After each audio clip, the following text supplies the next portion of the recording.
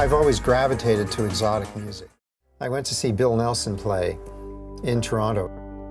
He did the intro to his whole set, holding something in his hand, and, and he did this whole guitar solo. He was using a, a device called an EBow, and, um, which vibrates the strings of an electric guitar. I sent away for an EBow, and it never came. And I had booked more time into Dan's studio to try and finish this record. So I thought maybe I can make something that will do what an EBow does. And so I made this kind of Frankenstein guitar. It had big it had wires going into it and things taped to it and so on. And, but it did work. Then I refined it so it, it doesn't look so, so weird now. Uh, through Brian Eno, I, I met uh, The Edge, and he was interested in the infinite guitar. It's easiest to perceive it as part of the introduction to With or Without You.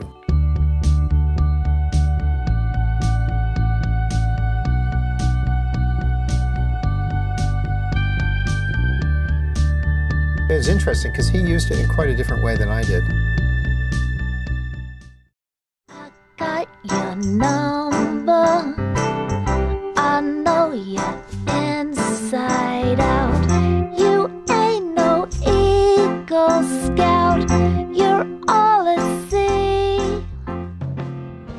He's one of the greatest American songwriters of you know the past couple generations. Really good lyrics, beautiful melodies.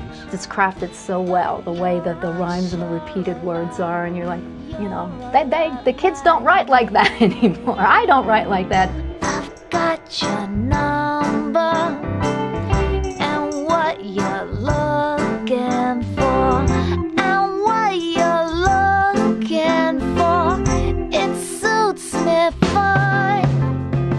Cole Porter's a household name. The Gershwin brothers are much more household names. His songs are are amazing and, and stand up are just as important in the American songbook lexicon as, as these other composers. His name came up in this meeting and it was sort of the, the last thing I kind of expected in this day and age to like uh, someone at the music company going, hey, what do you think about Cy Coleman?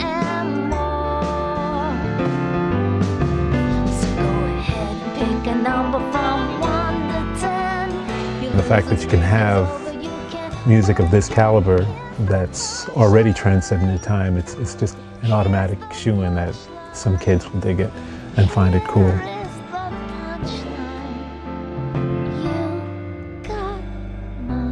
If you're doing a tribute record to this great artist, this great writer, that a big part of what ends up happening with the record is that people are brought to the awareness of who he was. You know, Cy Coleman's a legend.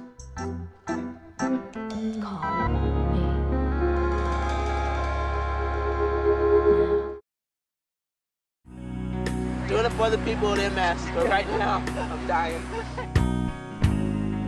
I look at this as this is just 150 or 160 miles, two days out of my life. People with MS have to live with this for the rest of their life.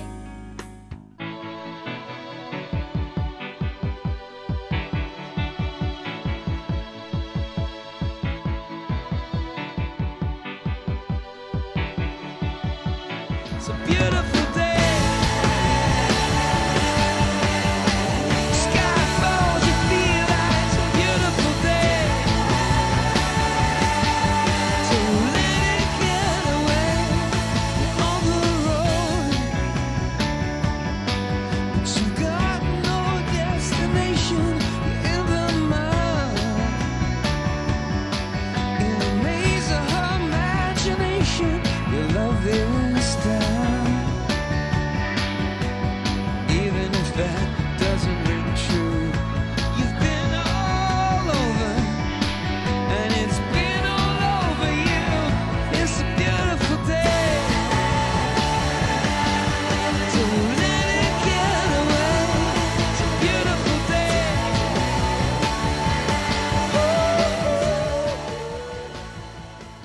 MS 150 is a bike tour that is a fundraiser for the National MS Society Gateway Area Chapter. It is our largest fundraiser of the year, and this is our 19th year. we started a couple years ago. Uh, it started out with three or four guys from my fraternity who were really into biking. This is my third year. My first year. This is my third year.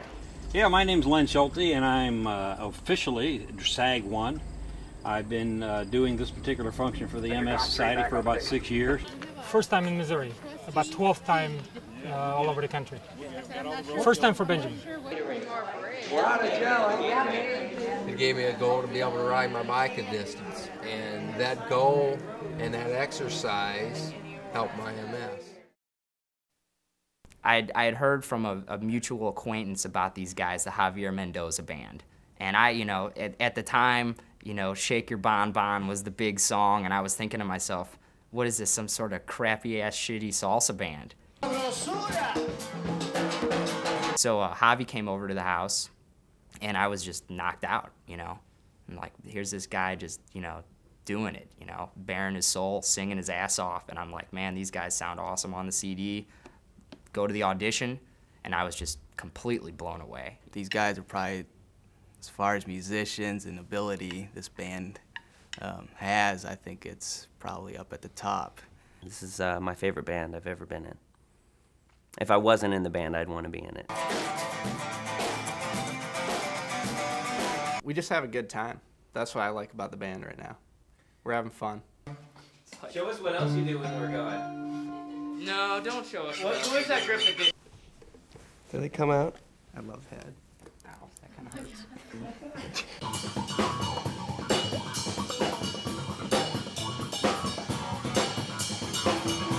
Potentially, I, I see this band as having worldwide implications. I really do, because there's, there's so many styles coming together in this band. You know, you've got everything from jazz fusion to like pop to classic rock to, you know, kind of Latin influenced rock and roll to like straight up flamenco music. And it all kind of melts together in this way that, you know, to me it almost creates a new color. You know, it's like we're painting a new color. We're, we're you know, we're the artist with the new, the new color on our palette. I, I have this gut feeling that is, it's things, really good things are about to happen. When we're all completely full time with this, watch out, man, watch out. Yep. Because we're coming to your town.